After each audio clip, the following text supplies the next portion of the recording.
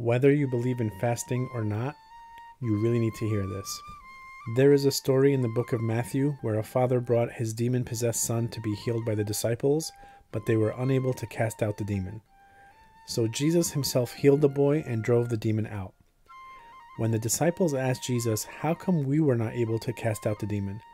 Jesus replied and said that it was because they had little faith and also because this type of demon does not go out except by prayer and fasting. But here is the scary part. Most modern Bibles have deliberately removed this verse. This verse that states, however, this kind does not go out except by prayer and fasting is Matthew chapter 17, verse 21. But many modern Bibles skip that verse and go from Matthew chapter 17, verse 20, right to chapter 17, verse 22.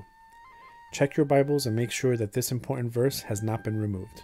So I have two questions. Number one, why don't they want us to know the power of fasting?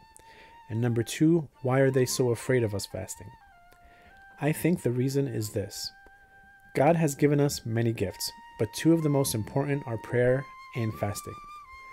Prayer is a way for us to talk to our Creator, and fasting is a weapon that the Creator has given us to use against evil. As we come close to the beginning of Lent, we are called to fast.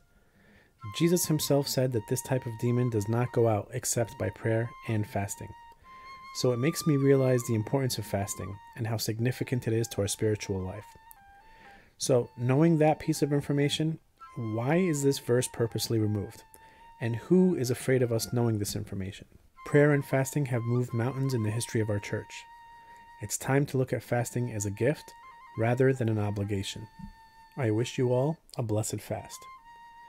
If possible, please take a moment to subscribe to the channel as it would really help out a lot. Take care and God bless.